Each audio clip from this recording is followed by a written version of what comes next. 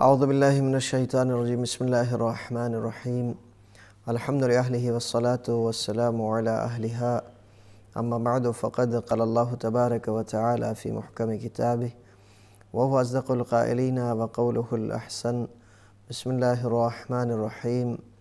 هل يستوي الذين يعلمون والذين لا يعلمون؟ صدق الله العلي العظيم. برادران ایمانی، ہماری گفتگو کا سلسلہ چل رہا ہے۔ موضوع گفتگو ہے تقلید، قرآن و سنت و سیرت ایم معصوم علیہ السلام کی روشنی میں۔ قرآن آیات کے ذریعے سے گفتگو ہو چکی اور تقریباً ستائیس نشستیں ہماری مکمل ہو چکی ہے۔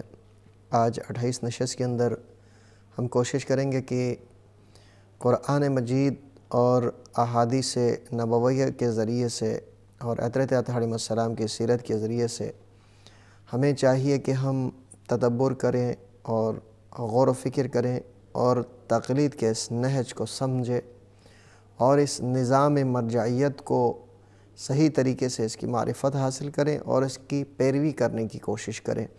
جیسے کہ سابق نشست میں عرض ہوا، ملت تشیع کو ڈیوائیڈ کرنے، ملت تشیع کو علماء سے دور کرنے اور ملت تشیع کو نظام مرجعیت اور نظام ولایت فقی سے دور کرنے کی کوششیں یہود و نصارہ کی طرف سے ہو رہی ہے۔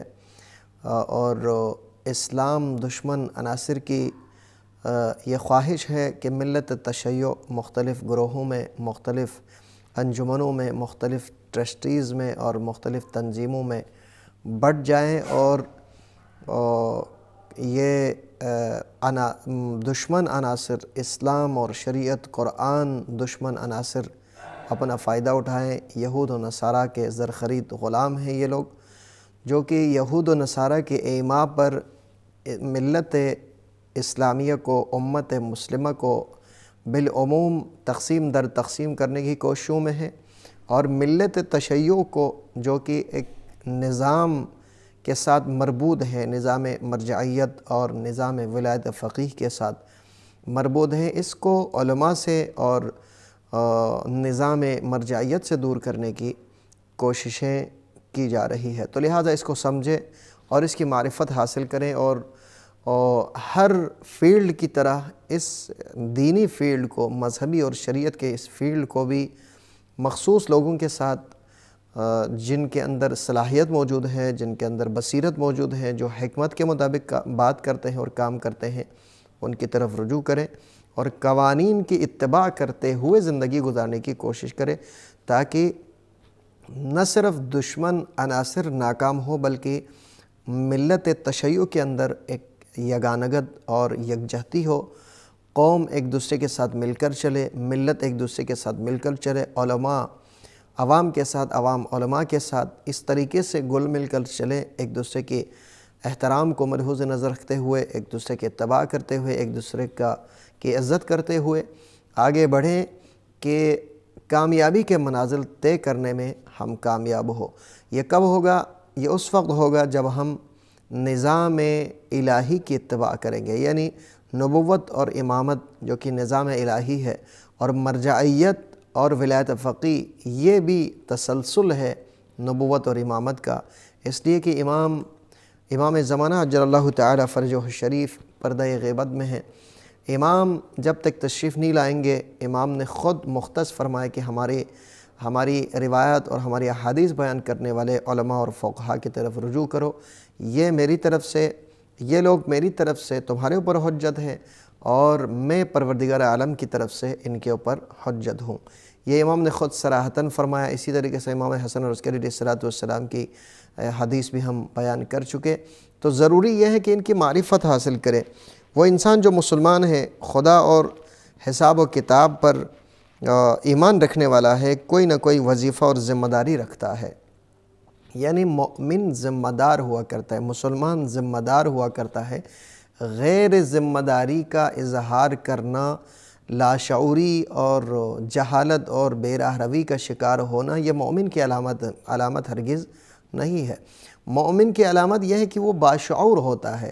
وہ کوئی بھی فعل انجام دیتا ہے، کوئی بھی عمل انجام دیتا ہے، کوئی بھی گفتگو کرتا ہے، وہ حکمت کے مطابق کرتا ہے۔ علم کی روشنی میں وہ گفتگو کرتا ہے اور کام کرتا ہے۔ یہ مومن کی علامت ہے۔ اور اسی طریقے سے اگر وہ واجبات میں سے ہوں تو اسے انجام دینا چاہیے، یہ مومن کی علامت ہے۔ اور اگر وہ کام محرمات میں سے ہو تو اسے اجتناب کرنا چاہے یہ مومن کی ذمہ داری ہے۔ یعنی مومن ذمہ دار ہوتا ہے لہو لعب کھیل کود کے اندر زندگی گزارنے والا، یہ مومن کی نشانی ہرگز نہیں ہے۔ ان دستورات کی جڑ اور اساس یعنی جن واجبات کو ہم نے بجا لانا ہے اور جن محرمات سے ہم نے اجتناب کرنا ہے، اس کی بنیاد اور جڑ اور اساس کیا ہے؟ قرآن اور سنت ہے۔ ہم نے واجبات کو قرآن سے لینا ہے اور سنت سے لینا ہے۔ محرمات کو قرآن سے لینا ہے اور سنت سے لینا ہے۔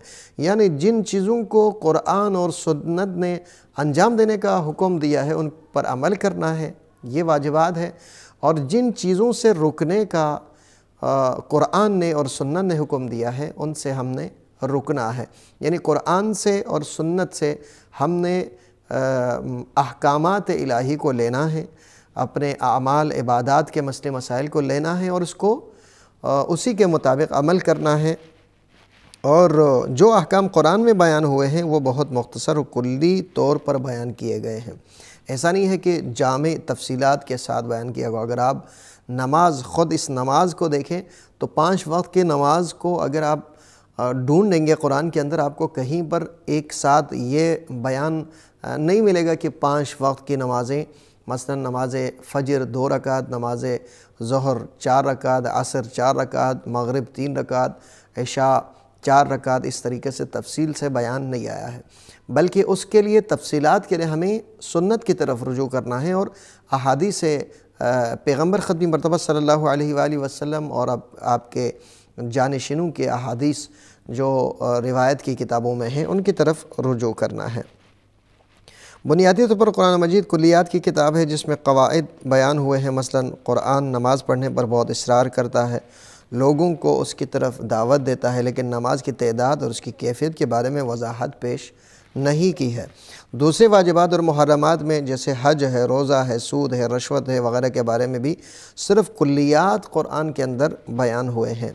لیکن جزئیات کی وضاحت نہیں ہے۔ اس کے علاوہ قرآن کی آیات، وہ آیات جو احکام شرعی کے متعلق ہے ان میں سے بعض کو سمجھنا اتنا مشکل اور پیچیدہ ہے کہ ایک عام انسان مختلف علوم میں مہارت حاصل کیے بغیر ان آیات کو کوئی صحیح طریقے سے حکم اس سے سمجھ میں نہیں لا سکتا ہے، نہیں سمجھ سکتا ہے۔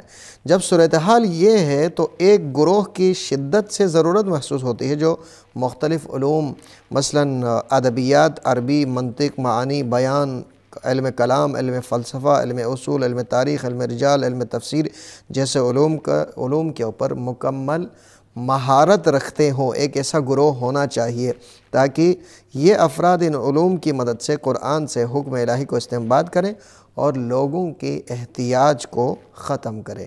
لوگ جن مسئلے مسائل کی طرف محتاج ہیں، ان کے احتیاج کو ختم کریں اور ان کے مسئلے مسائل کو حل کریں۔ ایک گروہ کا ایسا ہونا ضروری ہے۔ اسی طرح حدیث میں بھی یہی صورتحال ہے جو قرآن کے بعد فقہی ماخذ ہے۔ حدیث میں بھی آئیم معصوم علیہ السلام میں سے سے کچھ مسائل میں جزئیات نقل ہوئی ہے، لیکن اکثر مسائل میں صرف کلیات ہی بیان ہوئی ہے۔ جیسے کہ معصوم کا فرمانا ہے، لا تنقض الیقین ابدم بالشک یعنی شک کے ذریعے سے اپنے یقین کو ہرگز مت توڑو۔ یہ قانون اور کلیہ بہت سارے سوالوں کے جواب میں معصوم علیہ السلام سے نقل ہوئے ہیں۔ اس کے علاوہ جن مسائل کے جواب آئیم معصوم علیہ السلام جزئیات کی صورت میں دیا ہے، ان میں سے اکثر اسی زمانے کے ساتھ مربوط ہے۔ لہٰذا آج کے زمانے کے لیے، آج کے اس دور کے لیے ہم کس طریقے سے زندگی گزاریں گے، کس طریقے سے مسئلے مسائل کو حل کریں گے اور جو مسائل ہمارے اس دور کے ساتھ مربوط ہیں، اس دور میں پیش آتے ہیں اس میں ان مسائل پر عمل پیرا نہیں ہو سکتے جو حکم اس دور کے ساتھ مخصوص ہے۔ کیونکہ اس دور کی ضروریات اور مقتضیات مختلف ہیں اور آج کے دور کی مقتضیات بھی مختلف ہے لہٰذا ضروری یہ ہے کہ ایک گروہ کا ایسا ہونا چاہیے ہمارے پاس جو ان ساری مشکلات کو حل کرے، ان ساری مشکلات کو لوگوں کے جو لوگوں کے مسئلے، مسائل کے جو تقاضے ہیں، لوگوں کے گھریلو زندگی، انفرادی زندگی، اجتماعی زندگی، معاشرتی زندگی میں جو پیچیدہ مسئلے، مسائل ہیں، ان کو حل کرنے کے لیے ایک گروہ کا ایک طبقے کا ہونا ضروری ہے اور اسی طبقے کو ہم مراجعین کہتے ہیں مشتہدین کہتے ہیں اور آیات عظام کہتے ہیں، جن کی طرف رجوع کر کے ہم اپنے مسئلے، مسائل کو حل کر سکتے ہیں اور اسی کا نام تقلید ہے۔ تقلید کو ایک چپتی بات کی طرح لوگوں کے سامنے بیان کیا جاتا ہے اور اس طریقے سے لوگوں کو لوگوں کے جذبات سے کھیلا جاتا ہے۔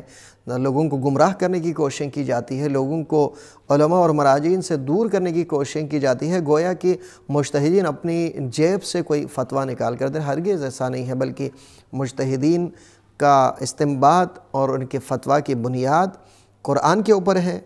اور اسی طریقے سے حدیث کے اوپر ہے، اجماع و عقل اور عدرت علیہ السلام کی سیرت کے اوپر ہیں انہی کے ذریعے سے یعنی استمباد کر کے، استدلال قائم کر کے اور دلائل ڈھونڈ کر اس مسئلے کا حل وہ بیان فرماتے ہیں۔ اس میں اتباع کرنا، ان ان کی پیروی کرنا، ان کے فتویٰ پر عمل کرنا، اسی کا نام وہ ہے تقلید ہے۔ اور یہی ہماری ذمہ داری ہے۔ اس لیے کہ ہم خود بذاتی ہی ان سارے علوم کو بے ہی سمجھنا ہمارے لیے ممکن نہیں ہے۔ اس لیے کہ ہماری اپنی مشغولیات ہیں، ہمارے اپنے فیلڈ ہے کچھ انجینئر ہے کچھ ڈاکٹرز ہے کچھ مختلف قسم کے لوگ ہیں، مختلف قسم کے فیلڈ میں کام کر رہے ہیں۔ تو ان کے لیے دین کے تمام فیلڈ میں کام کرنا اور اس سے استعمال کرنا، قرآن و سنت اور سیرت اجماع و عقل کو سمجھنا، اس پر عبول حاصل کرنا، اس کے لیے ممکن نہیں ہے تو لہٰذا ضروری یہ ہے کہ ہم اپنے احتیاج کو پوری کرنے کے لیے، اپنے احتیاج کو ختم کرنے کے لیے مرجعیت کی طرف رجوع کریں، مرجعیت کی مجتہدین کی طرف رجوع کریں اور مجتہد جامع شرائط کی تقلید کریں تاکہ ہم دنیا میں بھی کامیاب ہو اور دین کو صحیح طریقے سے سمجھ کر اس پر عمل پیرا کریں۔ عمل پیرا ہو اور دنیا اور آخرت دونوں میں ہم سرخرو ہو۔ پروردگار ہم سے میرے دعا ہے، خدا اندہ پروردگار، ہم سب کو تری عبودیت اور بندگی میں زندگی گزارنے کی توفیق نعت فرما۔ وما علینا الا البلاغ المبین۔